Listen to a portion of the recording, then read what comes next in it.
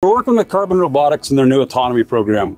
Remote driving tractors to help minimize labor and increase efficiencies in our fields. So Brandon, one of the efficiencies you can gain here obviously is a labor efficiency. Can you talk a little bit about what that means for you here on the farm? It means a lot of things, you know, running the right speed, working 24 hours a day, seven days a week without having any sick time. And we're hoping to mitigate some future expenses with labor rates by going autonomously on as many things as we can. I don't plan on shutting them off when we're done with the LaserWeeders. to keep, keep putting them in new situations so we can continue to grow our fleet of AutoTractors. I really like what they're doing. It's autonomously driving with the supervisors. There's somebody watching that tracker at all times. You know, I haven't had any other company that's paid as much attention to what the farmer needs as Carbon Robotics. I mean, there's some great equipment out there, but when we started working with Paul and his company, with it, the whole team a couple of years ago, you know, it just really felt like this was the partnership that we needed to be successful farmers.